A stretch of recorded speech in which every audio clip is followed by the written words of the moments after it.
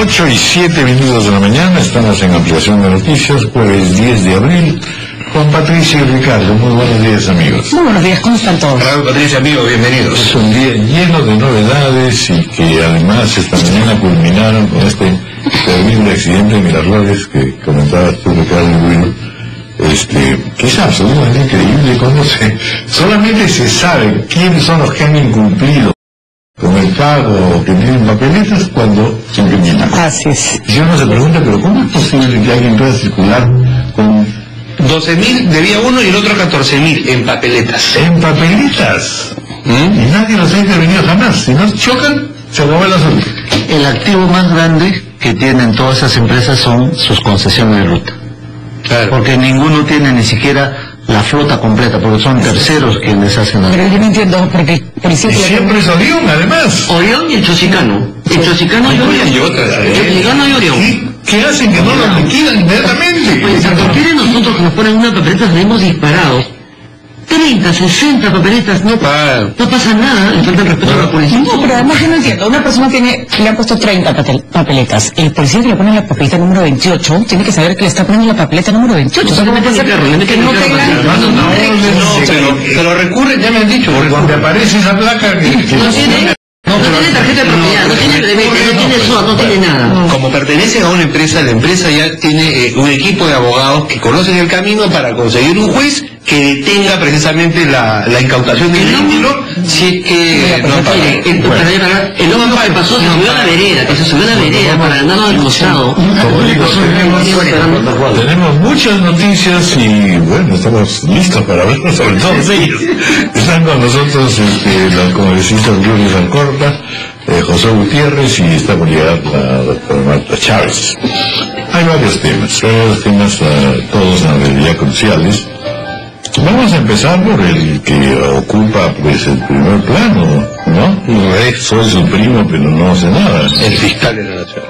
Entonces eh, vamos a, a conversar sobre este hecho, que en realidad vuelve pues a poner en cuestión eh, aquí lo que se ha hecho, la frase que me ha parecido más cruda es la que dice, estamos de nuevo ante una negra colonia. Entonces sí, la verdad que puede ser pues, un gesto político un poco exagerado, pero cuestionado Ramos Heredia es elegido fiscal de la nación. Bueno, buenos días. Después del atropello del accidente, buenos días a todos antes que nada. Y sí, efectivamente, Raúl, hay una gran preocupación con este, este nombramiento, que si al comienzo fue porque estaba vinculado a la familia presidencial, el señor Ramos Heredia ha hecho una carrera pública en la administración pública, en el Ministerio Público. Ha estado 30 años ahí, no hemos sabido realmente nada de él hasta que esta postulación, y obviamente con todo el derecho de postular. Quien se le, quien se le mete en el camino de esta carrera aspiracional a llegar al fiscal es la pareja principal porque está en el gobierno.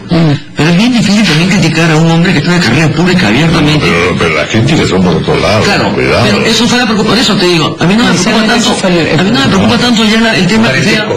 No, realmente no me, a mí no me, Primo lejano, recién se Oiga, sinceramente a mí no me preocupa si, si el, el empleado, el, el- el ministro es primo hermano, lo que nos interesa es nos sus resultados. Resultados, no importa si de alguien, resultados. Pero el problema de este fiscal y de los fiscales de todos, sin excepción, lo que han aspirado, es porque están involucrados en el AMPA, en el tema de, de responsables todos, el Congreso, el Ejecutivo, la Policía, todos somos responsables. Ustedes han tenido a la chiquita No- Nolasco, es, es, es, terror, pues, porque el padre pide, pide auxilio, el hermano fue designado. Pero además, ¿cómo es posible que estos fiscales hayan tapado, hayan ensamblado a los, a los fiscales que mandaron las cosas al archivo, pero ya no son actos de corrupción, es acto de corrupción con sicariato, con, pero con AMPA ya de terror? Ya quienes investigaron los han destituido y procesado. y procesado y destituido. Ya han tapado todo. Todo nos vincula. El otro día que dio la comisión especial para el tema de Ancash, usted lo ha transmitido, yo lo he visto a través de este medio de comunicación, la cola era kilométrica, pero eran de autoridades. Todas las autoridades han llegado hasta el día de hoy, hasta que terminó, 134 denuncias contra el gobierno regional de Ancash. Porque el tema de no solamente es de corrupción, es delincuencial, es sicariato, son crímenes.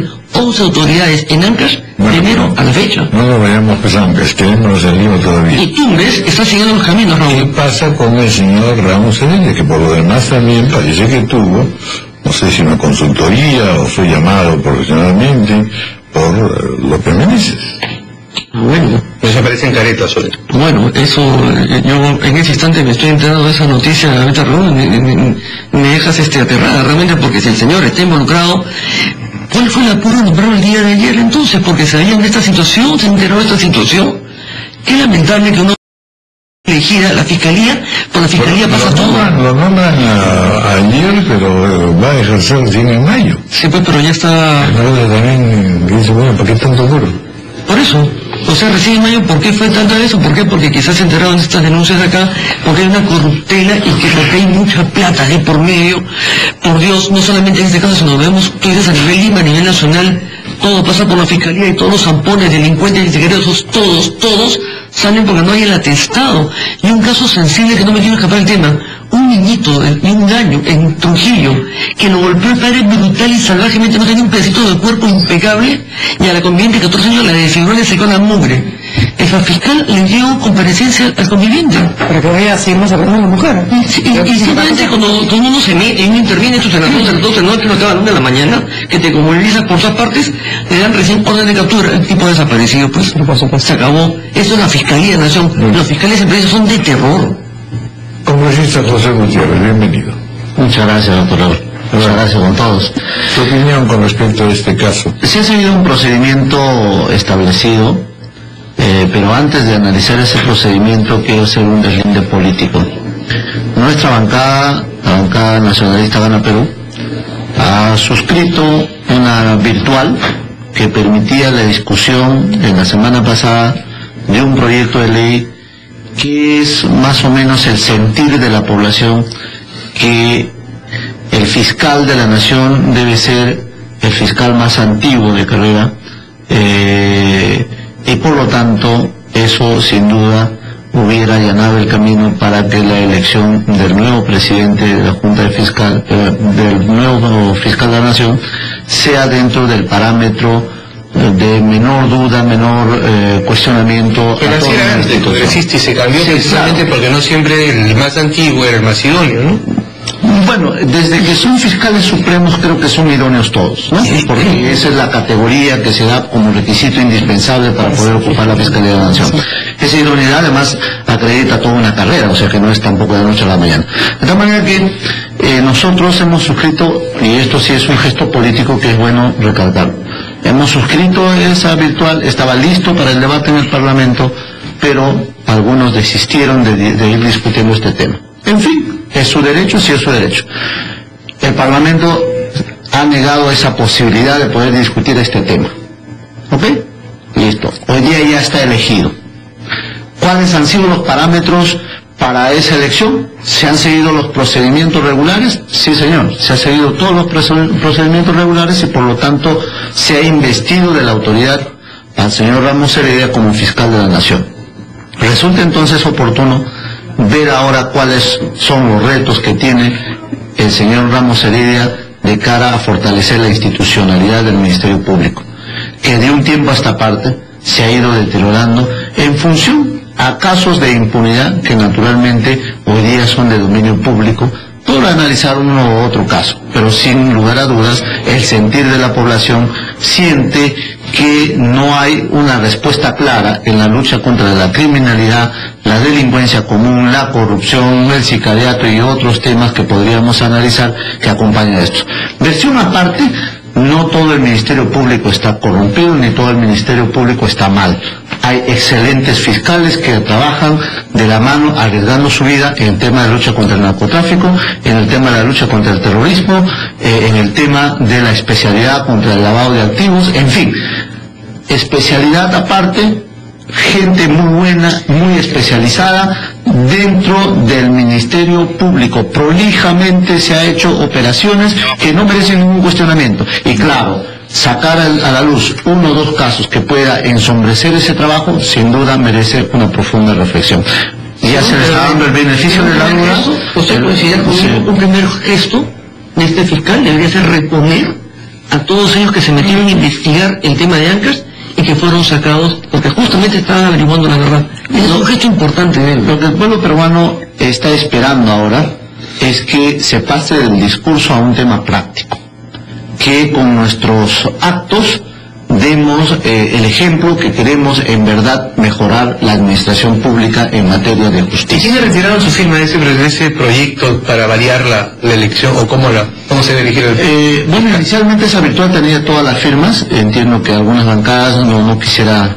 ¿Cómo que no este, hacerlo, no, no, es que no somos cero. Se ha caído, nosotros sabíamos ¿Su que ya bancada, se iba- miembros de su bancada retiraron su firma? No, no, no. Nuestra bancada hasta el día de hoy, lo pueden ver la virtual, está ahí firmada, pero no ha habido otra bancada que retirado. ¿no? Bueno, vamos a hacer una pausa y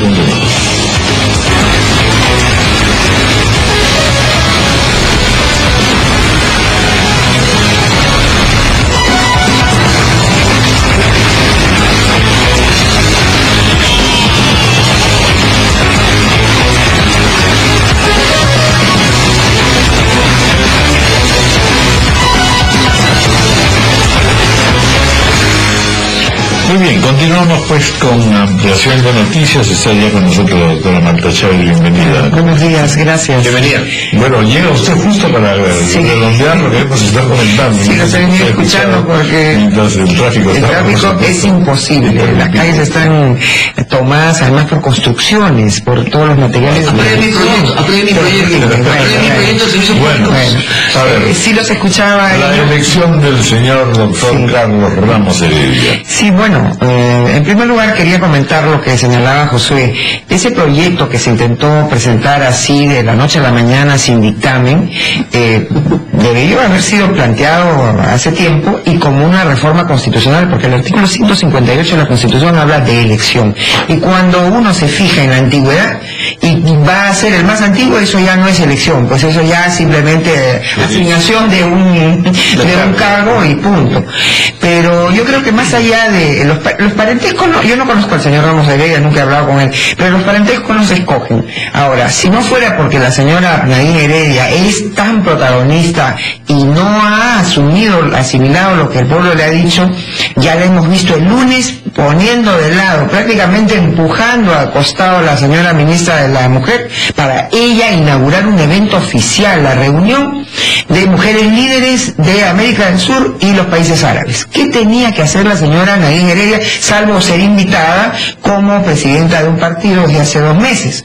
Pero nada más. Bueno. Entonces, eh, eh, no, eso es lo que hace peligrar respecto, o atemorizar respecto al señor Ramos Heredia. Por lo demás, lo de ANCAS tiene que ser investigado. Y si se prueba la responsabilidad del señor Ramos Heredia, sea como omiso a sus funciones o sea como activo, Se queda en una situación eh, tendría que dejar el cargo de fiscal de la nación y de fiscal supremo. Y fiscal. Cuando, cuando- Así es. cuando vimos la pausa, eh, eh, planteamos también la otra posibilidad de que ah, se analice el procedimiento de elección del fiscal. Sí. Estamos hablando un círculo completamente privado, digamos, cinco fiscales que Ese es otro se tema. reparten entre sí con mucha simpatía y amistad, porque bueno, tienen años ahí. Raúl, ese es otro tema. ¿Por qué hay cinco? O sea, las, las fiscalías supremas son muchos más. Lo que pasa es que solamente hay cinco titulares. Y cuando oh, se, se permite que hayan provisionales, los provisionales son muchos más, inclusive ya han hecho su pliego de reclamo y lo primero que anunció ayer el Ramos Heredia era que iba a pedir que los fiscales supremos provisionales ganaran igual que los fiscales supremos titulares, porque hacen el mismo trabajo y son más, en verdad. No, entonces, ese es el problema. Eh, en la Corte Suprema son más de 20 vocales supremos. Algo similar debería ser en las Fiscalías Supremas. Eh, el Consejo Nacional de Magistratura, por X razones, no está eh, actuando con la debida rapidez. Hoy hay más provisionalidad que en ningún tiempo. A nosotros nos acusaban de que usan provisionales porque quieren poner a su gente y moverla. Hoy hay más provisionalidad. ¿no? Ese es otro problema que hay que enfrentar, ¿no? Y hay cosas graves y delicadas. Sí, sí, sí. Bueno, vamos a hablar de otro tema. El otro tema es, pues, este, esta noticia que se anunció el día de ayer, de que varios líderes de Movadef, entre ellos los abogados de Abimael Guzmán, 24 personas en general, han sido detenidas. Eh, ¿Cuáles son vuestras reacciones, Lourdes Alcorta? Bueno, primero, inaceptable la decisión de dos de estos tres jueces de dictaminar un suelto en huesos que estos señores podían pasar a una cárcel común y corriente. Así ahora tienen televisión, tienen juego de billar, tienen periódicos, tienen todo, cuando nos dijeron que no iban a ver la luz del sol. La gente se olvida. Y esta gente se olvidó en el Perú había muertos, había llanto, había dolor, había sangre, viudas, huérfanos, había terror, éxodo. Ese, esa base naval, que podría no ser el sitio, no hay otro, lamentablemente, salvo construyan uno de máxima seguridad, más seguro que ese. Ese de ahí es el Museo de la Memoria. Eso es el significado de lo que es el Museo de la Memoria. Estos miserables terroristas, asesinos, ellos son el emblema de lo que es Acción Terrorismo del Perú, para que la gente joven no confunda pues a Abimael Guzmán con Miguel Grau, por ejemplo. ¿Cómo es posible que de repente se le ocurra a dos jueces y a estos señores de repente empezar a liberarlos? Y ayer, la sorpresa que hemos tenido que han agarrado a estos señores presos, a estos señores detenidos, al abogado, a Crepo, a todos ellos, incluyendo al pariente del presidente, lavado de activos para el mantenimiento de una cúpula del sendero luminoso que sigue activa en el Perú. Tintaipunco es un emblema de lo que fue el Perú. 19 muchachos perdieron las piernas, 21 murieron. Por Dios, no podemos olvidarnos esa imagen de ahí, porque esos señores deben morirse en la cárcel, es donde merecen estar. No podemos liberarlos y pasarlos a una cárcel. No tenemos cárceles, pues hay que construir unas 8 o 10 cárceles para la gente, para todos los desgraciados, en general de la delincuencia, el sicariato. Pero estos terroristas que los han aterrado toda una década del 80, del 90 y la de ahora y siguen vivos, y ahora delincuentes y sicarios con el narcotráfico, no tienen ningún derecho a tener nada de nada. Con la justa quizá para hacerse por el patio media hora al día para que sepa que existen. Y punto. Eso no debe pasar. Tenemos que tener las cosas claras, hay que tener temor de decirlas y manifestarlas con contundencia.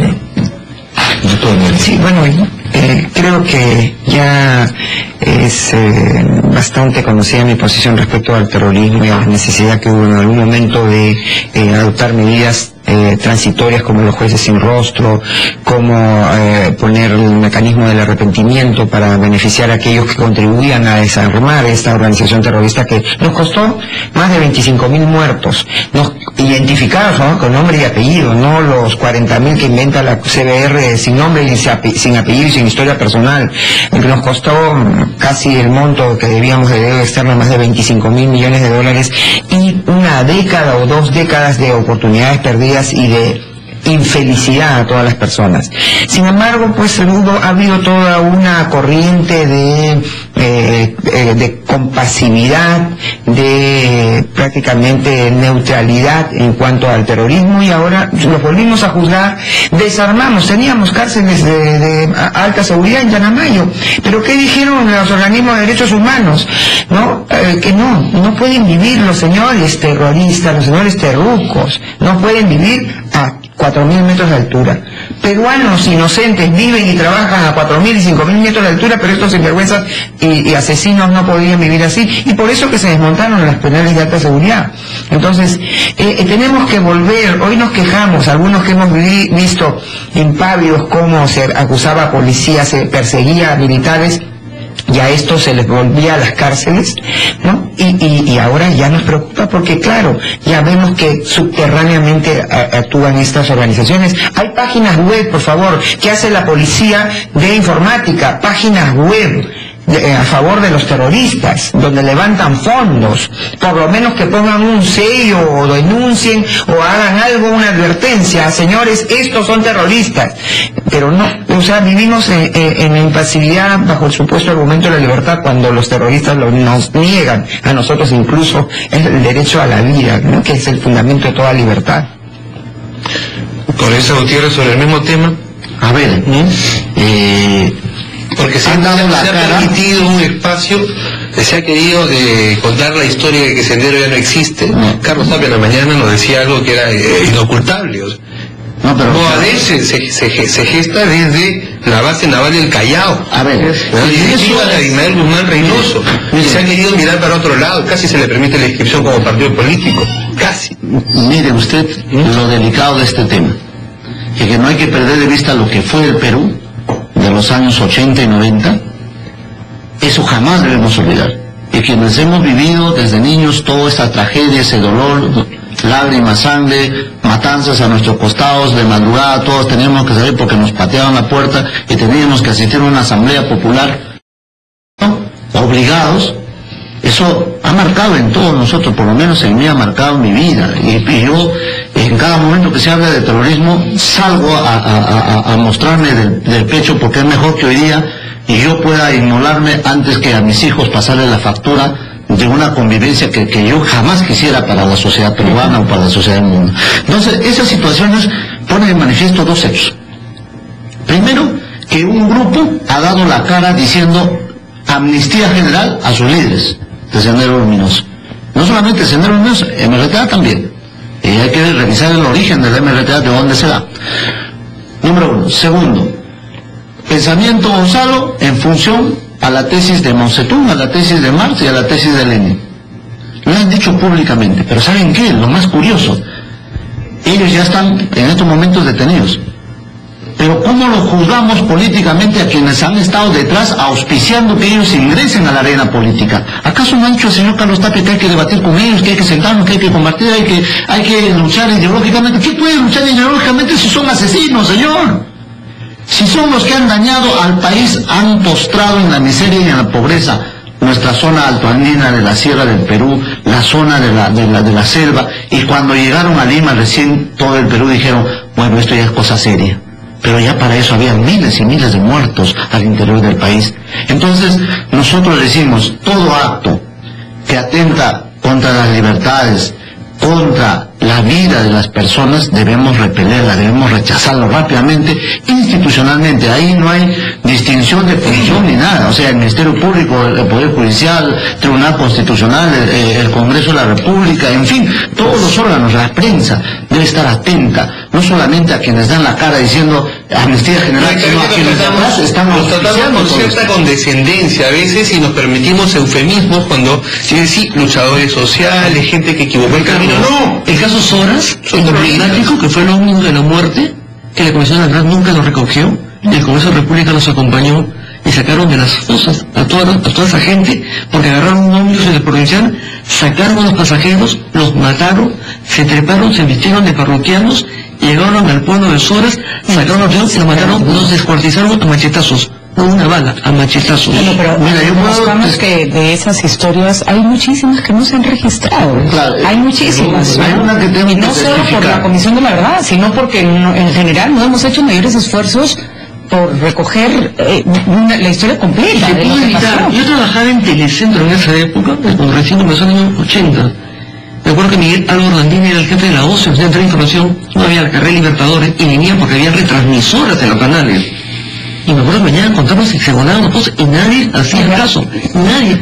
Existía Radio el Sol, me acuerdo, que denunciaba, y nadie hizo caso. La misma experiencia que, que ha tenido el Jorge Cisada Gutiérrez no la hemos tenido nosotros, no hemos visto lo que él ha visto y lo que es desesperante es que con la misma frialdad que se trató en algún momento algunas cosas del terrorismo, estamos tratando hoy día casos de mafias organizadas en provincias sin dejando que la cosa se agrande a tal nivel que otra vez no lo vamos a poder manejar.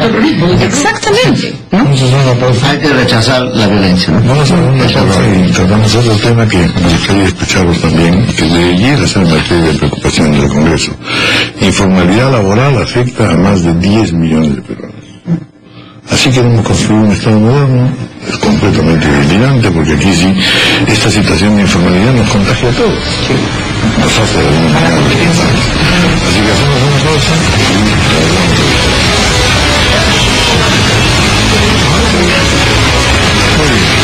Bueno, pues en la pausa, que ha sido un poquito prolongada, eh, hemos tenido ocasión de, de conversar en eso que yo les plan- planteaba, ¿no? Es decir, la verdad es que permanentemente estamos diciendo que vamos muy bien, que crecemos, que el mundo nos considera mucho, pero desde el punto de vista de armazón del Estado, lo único que vimos son situaciones todas más o menos delirantes, más o menos injustas, y sobre todo el hecho de que todavía, francamente, somos un país subdesarrollado.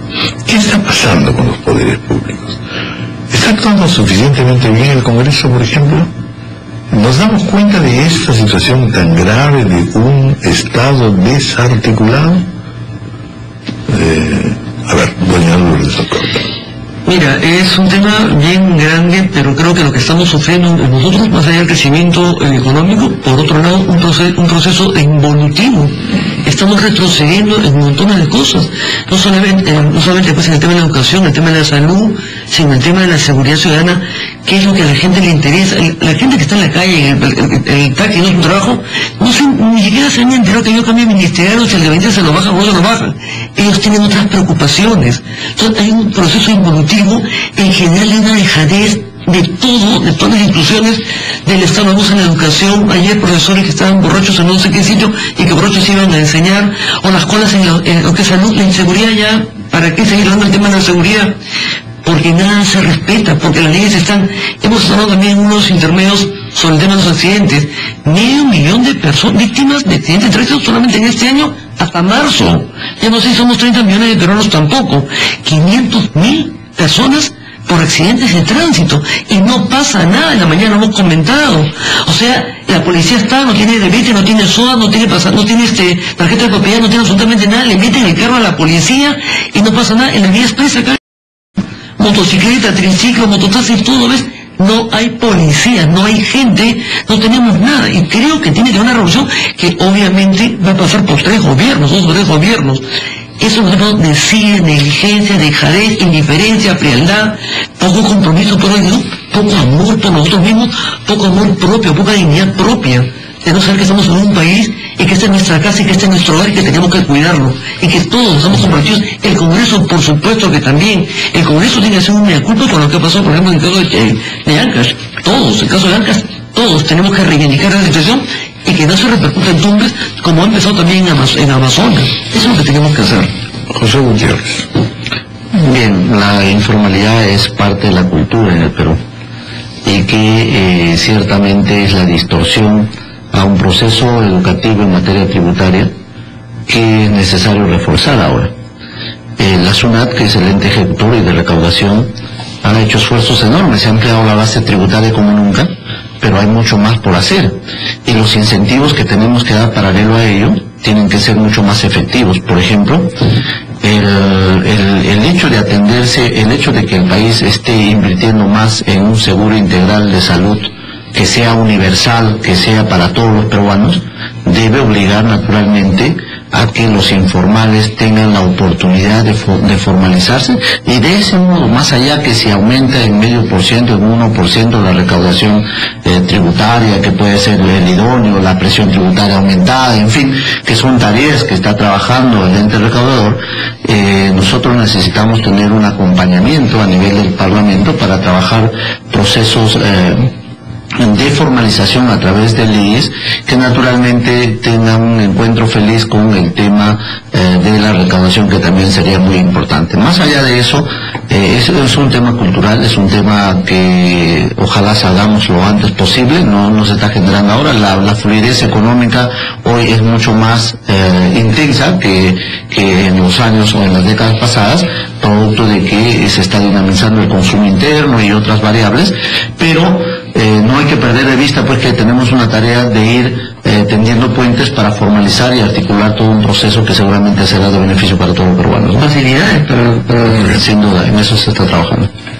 Sí, gracias. Eh, sobre el primer punto, esta desarticulación de nuestra sociedad, yo creo que es el, la, el, el siglo quizás aquí en el Perú de la, eh, el diluir todo se ha diluido, se ha diluido la familia, se ha diluido la educación. Yo digo, por ejemplo, ¿cómo es posible que ahora eh, la gente, los niños lleguen a sus casas y nadie los recibe? Porque papá y mamá están trabajando y lo único que les queda de compañía es una computadora con acceso quizás a, a, cualquier porquería. ¿Por qué en los colegios no hay un doble turno? En mi tiempo, que son hace varias décadas, estudiábamos mañana y tarde. Los niños regresaban a las cinco y media, a las seis de la tarde. En otros países hasta ahora hay ese horario, porque si bien terminan a las 3, luego pasan a talleres y entonces los padres pueden tranquilamente trabajar, los niños están acompañados, están entrenados, están distraídos porque hay deportes, hay eh, labores manuales, pero aquí en base a un malentendido eh, eh, sindicalismo hemos logrado reducir la jornada eh, y ya, pues enfrentémosla y queremos un otro turno, ¿no? Ojalá. Eh, todo se ha relativizado. Entonces yo creo que nos toca como sociedad pararnos todos y decir a dónde estamos yendo, qué seres humanos estamos construyendo, para qué vivimos, o sea, vivimos, es tan efímera nuestra vida y parece como que nos hubiéramos olvidado hasta de eso, ¿no? Y en lo que atañe a, a- a tema de la informalidad, y yo he venido reclamando mi especialidad, yo me formé en el Ministerio de Trabajo, estuve ahí desde estudiante, practicante, hasta que fui asesora, abogada, cuatro, asesora de la subdirección de, de asesoría jurídica del Ministerio de Trabajo para pasar luego a la práctica privada, sigo enseñando derecho laboral, y yo creo que no se ha cumplido, yo he venido siempre reclamando, la labor de inspección del Ministerio de Trabajo es fundamental, porque no solamente es una persecución policiaca, sino de orientación a trabajadores y empleadores. Hoy hemos endurecido una serie de intervenciones, por ejemplo la SUNAT. La SUNAT ahora le pasa parte de su labor a los, a los eh, formalizados operadores, a los contribuyentes. Le dicen, ustedes tienen que hacer esta retención, tienen que hacer esa declaración por mí, o sea, de todos aquellos con los que ustedes contraten, ustedes tienen que tener su propio software, su equipo y su gente para hacer esto que la SUNAT deberían hacer. Entonces, ¿qué pasa? Estos son costos y la gente prefiere ser informal, pues. Porque si yo soy formal, voy a tener que hacer hasta el trabajo de la SUNAT. Eso es una falta de perspectiva y tenemos que sentarnos a ver a dónde vamos como Estado, como sociedad y retroceder si es que es necesario, corregir, enmendar el rumbo. ¿no? Creo que de eso se trata. Formalidad en algunos casos se está volviendo inalcanzable. Exacto. ¿no? O sea, tú no puedes es. exigir una cantidad de requisitos Sin eh, alcanzar como todo, como la inseguridad, como la educación, como... Hay dos ministerios que ya están caminando, por lo menos, No, ministros que van caminando y que podemos tener tranquilidad. Educación, energía y minas. Ayer se una tengo el ministro, vaya que sabe, ¿eh? Sí. Sí, Sí. realmente que sí. No, no, no, y de, de- de- de educación, como ya haces bien de mencionarlo, Hoy día es un buen día, De ¿no? primera, y de es educación. más importante un buen ministro de educación que de economía. Esto dice Sí, pero dos años y medio hemos perdido el tiempo también. Pero hoy, hoy va a estar el ministro de Educación en el Parlamento y uno de los temas que se recoge con bastante énfasis es lo que está diciendo Marta y en efecto hemos perdido muchas horas de preparación sometiéndonos a caprichos tecnicismos eh, académicos que nos ha pasado la factura, ¿no? Muy bien, bueno, pues muchísimas gracias. Gracias, gracias, Gracias Chávez y José, Gutiérrez. Muy buenos días, sí, bueno, traducir estas preocupaciones en acciones. Algo concreto. Campo de acción. Todo, todo, todo, la radio, la. Oye, yo, nosotros hemos tenido, tú también de repente, ustedes como chibolos, sí. Sí, no, no, hemos tenido clases hasta las 5 de la tarde, todos los días. Han- acá. Y el sábado, y el sábado, el todo el día hasta las 12 del día. Y nos dejaban tareas, en serio. Mira, en Estados Unidos tengo una amiga que estudia en Yale y tiene sus hijas chiquitas y las manda después del colegio a la Hawaii o a no sé qué institución y las chiquitas están hasta las 7 de la noche, hacen sus tareas ahí y las recogen. Quedamos a la espera entonces de los anuncios también que puede hacer el ministro de Educación, que evidentemente ya está trabajando bien. Muchas gracias.